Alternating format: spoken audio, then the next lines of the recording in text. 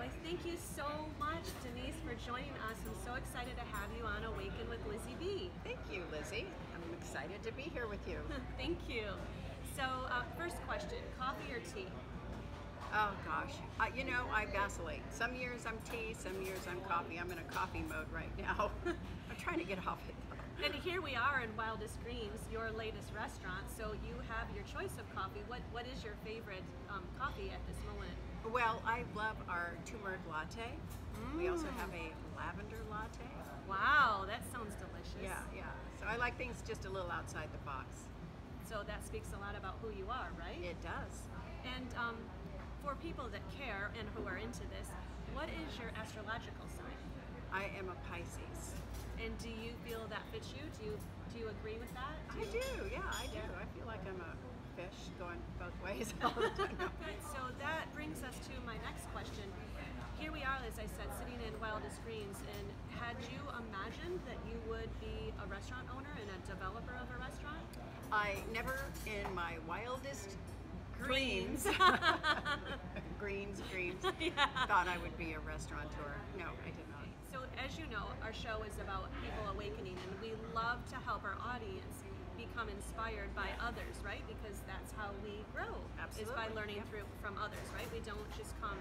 Some of us come built with it, but most of, most of us have to learn, and we want community. You, as we know, you are a producer of film and an actor, actress as well. Right.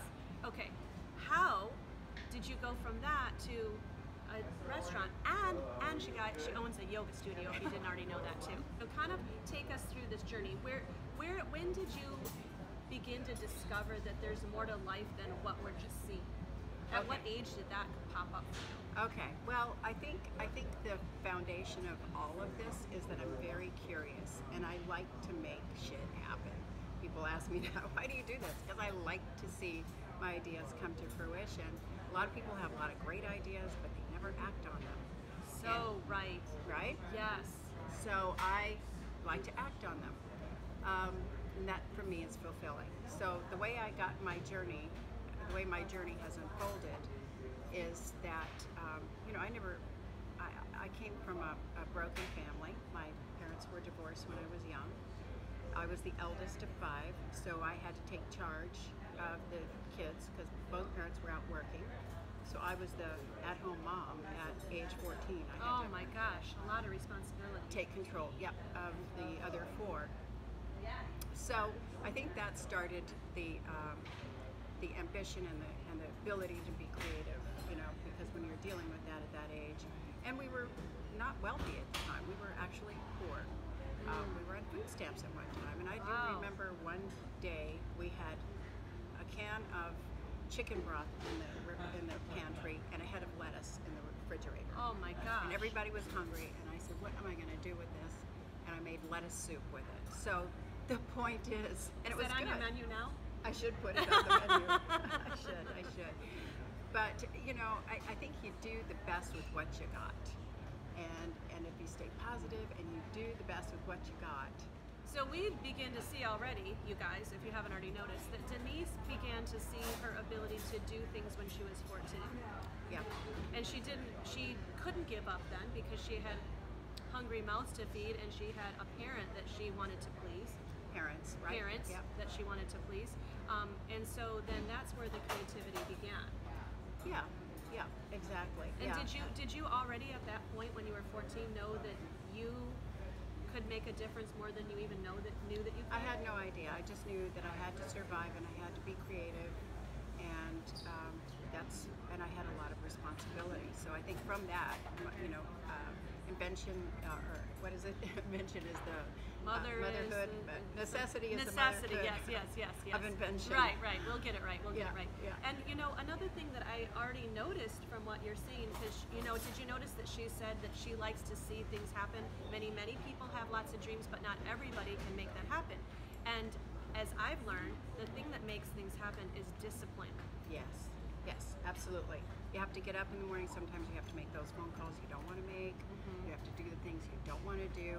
And those are the things that will set you apart from other people because most people are inherently a little bit lazy, I am. especially in today's day and age. So I'm lazy. if you're willing to t- to go that extra mile, to stay up that extra hour, to stay at work that extra hour, to show, if you're not an entrepreneur, and you're working for somebody else, to show you will go that extra mile, that will be recognized. And if not by your boss, you'll know inside Right. what you're capable of, and believe me, that leads to greatness. Don't want to live in mediocrity. I No. don't want to live in mediocrity. she does not live in mediocrity. All the projects you have going on, would you say that your community is really what helps you? my community definitely helps me. Uh, my staff, people that I hire, um, you know, I, I am the boss, but I still, I'll, I reach out to everybody around me for their input, even on small decisions. So I don't come in and say, I have this great idea, I think I'm going to run with it. I'll, I'll vet it through other people, you know, including I'll talk to, you know, the busboy and say, well, what do you think if we the, did this with the glasses, what would you you know, how would you like to handle this situation? If you could think outside the box a little bit, how would you improve on a this particular situation? So I'm not always the one coming up with the ideas because I'm constantly surprised at how people that I don't think really think much about things, how creative most people are. Well, you're giving asked. them the chance. That's the thing. Most people probably aren't thinking outside the box because they're not given the opportunity and they may not have the willpower to think outside the box on their own, but you are empowering them to think outside the box, which is exactly what the show is about. How do you make time for yourself? So I get to a certain point in uh, a day or a week, and I say, okay, I just have to tune out. I go take a yoga class uh, or two in a row, and that really gives me that outlet. Yes, yes. So, you guys, what is it that you're doing in order to be able to balance your life and be able to tune out the world so that you can come back more, even more fierce into the world? Yeah. So, in conclusion, what we know is that passion, willpower, adulting, thinking outside of the box. Yep, going that extra mile, I really think. Mm-hmm. Yeah, those, that's the component to help us be successful. Yeah, and using your uh, using your friends and your resources, using your connections. relying on your friends and Yeah, resources. people do. It's very difficult to do that. I know is uh, is for some women, and I know for me, it's difficult to ask for help because I feel like I'm going to be a burden or something like that. You know, you can give people the option to say no, but I think people some like to be asked to be helped. You know, if, if they can do very little to help you, and then you're successful, they feel like, hey, I helped make her successful. Yes, I will conclude with that. Thank you so much for Thank joining you. us today Yes, on. Awaken with Lizzy B. All right. Bye bye.